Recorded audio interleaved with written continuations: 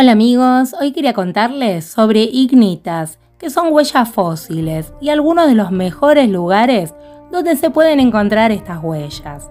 Uno de los lugares es la pista del río Purgatorio, ubicado en Estados Unidos.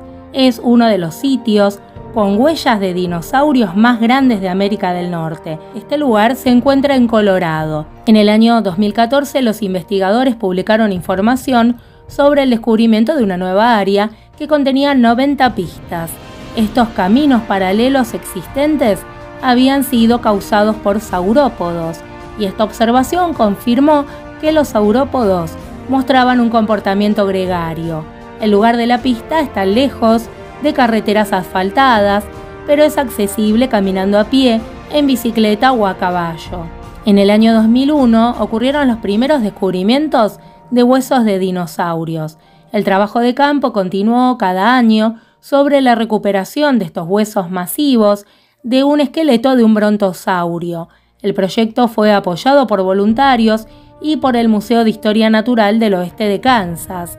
La exploración continua reveló más de 100 pistas, compuestas por más de 1.500 huellas individuales, hechas por dinosaurios bípedos y cuadrúpedos. Las huellas quedaron marcadas en piedra caliza de la formación jurásica Morrison. Este sitio se formó a lo largo de la orilla de un gran lago de agua dulce en el que caminaron dinosaurios sobre barro húmedo. Al secarse y quedar luego cubierto, estas huellas quedaron preservadas.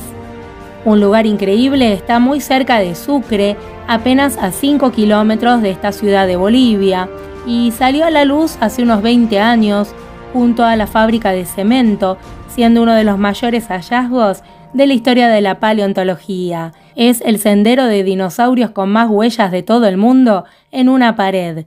Se lo llamó Cal Orco, que en quechua quiere decir cerro de cal. Es una larga pared de montaña que refleja la perfección el paso de los dinosaurios durante el Cretácico, como no se ha visto en ningún otro lugar. Son nada más ni nada menos que 5.000 huellas diferentes. Junto a una cementera y al otro lado de una valla apareció un muro vertical, que fue descubierto de la más pura casualidad, desarmando el terreno para elaborar el material de construcción. Los obreros quedaron al principio extrañados al ver esa pared tan rasgada y con tantas formas clavadas en ella. De hecho, pasaron 10 años hasta que se tomó conciencia que no era un capricho de la orografía, sino de la mejor radiografía posible de una estampida de dinosaurios de toda clase y tamaño. Entre el año 1994 y 1998 fue verificado y certificado por expertos paleontólogos de distintos países. Se contaron hasta el momento 5.000 huellas, pero se sabe que hay muchas más por aparecer. De hecho, hay distintas porciones del terreno que todavía se están analizando. El de Cal Orco fue para la paleontología lo que el hallazgo de la tumba de Tutankamón para los arqueólogos, algo absolutamente especial. Se habían encontrado en distintos países lugares bastante prolíficos en huellas de dinosaurios, pero centradas en dos o tres especies. La de Bolivia mostraba incluso miembros que jamás se habían clasificado en Sudamérica, como los anquilosaurios, herbívoros de 6 toneladas, con el cuerpo acorazado y un mazo en la cola. La visita al yacimiento se hace a través de una valla y un mirador en un simulado parque de entretenimientos del Cretácico con reproducciones de algunas de las especies más importantes que pisaron el suelo de Cal Orco. Su centro de interpretación contesta además una de las preguntas más repetidas por parte de los visitantes, ¿cómo es que las huellas están en vertical? Y no es que los dinosaurios caminaran por las paredes, sino algo mucho más sencillo, el que fuera el suelo de un lago de poca profundidad que inundaba gran parte de Sudamérica durante el Cretácico, se movió en numerosas ocasiones al compás de las placas tectónicas. La tierra que pisaron los dinosaurios es como una alfombra que se estiró y arrugó a lo largo de millones de años, lo que en la vida de nuestro planeta son apenas unos minutos. La pared calcárea, que conserva todas estas huellas, es un ejemplo evidente de la rugosidad de un terreno vivo que se encuentra ahora en su pendiente más vertical. Gracias a esto, por otra parte, fuimos testigos del paso de los saurios que hoy en día la paleontología estudia, a pasos agigantados, obviamente. Por último, quería contarles sobre unas huellas, que son una controvertida evidencia fósil que desafía lo que sabemos sobre los orígenes de la humanidad. Un conjunto de huellas que fueron descubiertas por accidente en la isla griega de Creta está planteando preguntas fascinantes sobre los orígenes de la humanidad, pero trayendo mucha controversia. Las huellas de traquilos fueron encontradas en el año 2002 por un paleontólogo polaco y un nuevo estudio afirma que son la evidencia más antigua de este tipo que se conoce sobre ancestros humanos. Esta investigación fue publicada hace poco tiempo, el 11 de octubre, en la revista Scientific Reports. Hasta ahora, la hipótesis más ampliamente aceptada es que los homínidos se originaron y evolucionaron en África antes que en ningún otro lugar. Los paleontólogos suscriben ampliamente la hipótesis de que África es la cuna de la humanidad. Según esta, la humanidad evolucionó únicamente en este continente antes de una gran migración al resto del mundo que comenzó hace menos de 2 millones de años. Ahora el equipo de investigadores, dirigido por el paleontólogo sueco Per Alberg, desafía esta línea de tiempo y afirma que las huellas de traquilos tienen 6 millones de años. Hasta ahora se consideraba que las huellas de la Etoli, descubiertas en Tanzania en 1976, eran la evidencia directa más temprana de un pie similar al humano. Las de traquilos serían casi 2,5 millones de años más antiguas los descubrimientos de África fueron cruciales para armar el árbol genealógico de nuestra especie. Además de huellas, en los últimos 100 años se encontraron numerosos fósiles prehumanos en África.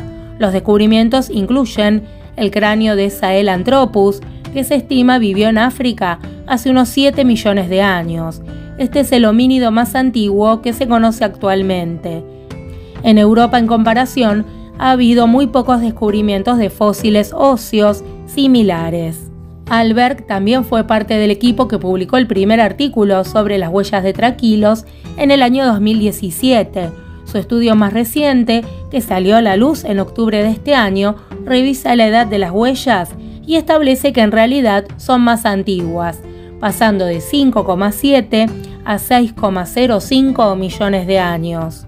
En su primer artículo había concluido que las huellas se parecían a las de los homínidos, especialmente por la cercanía del alux o dedo gordo del pie a los otros dedos, a diferencia de los pies de los primates como gorilas y chimpancés.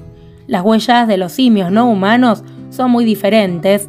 El pie tiene la forma de una mano humana, con el dedo gordo pegado al costado de la suela y sobresaliendo hacia los lados. En comparación con nuestros compañeros primates, nuestros dedos gordos están alineados con el eje largo del pie y no sobresalen hacia un lado. Algunos paleontólogos recibieron estos nuevos hallazgos con escepticismo. Los críticos cuestionaron los métodos utilizados para analizar las pistas e incluso algunos pusieron en tela de juicio la veracidad de las huellas. Matthew Bennett, un profesor experto en huellas, formó parte del equipo que estudió las pistas en Grecia e incluso él es muy cauteloso en su evaluación. Son huellas fósiles muy intrigantes, probablemente dejadas por un animal bípedo, alguna forma de simio. Pero si son de linaje humano, esa es otra historia, agregó. Además, la línea de tiempo de la evolución humana está lejos de ser un asunto simple. Los paleontólogos creen que los grandes simios, orangutanes, gorilas, chimpancés y humanos surgieron y se diversificaron durante un tiempo conocido como el Mioceno, entre 23 y 5 millones de años atrás. Sin embargo, hay poco consenso sobre cuándo se separaron los humanos de este grupo. Los científicos han encontrado evidencia de grandes simios no humanos deambulando por Europa, por lo que es posible que estos hubieran dejado huellas en Creta.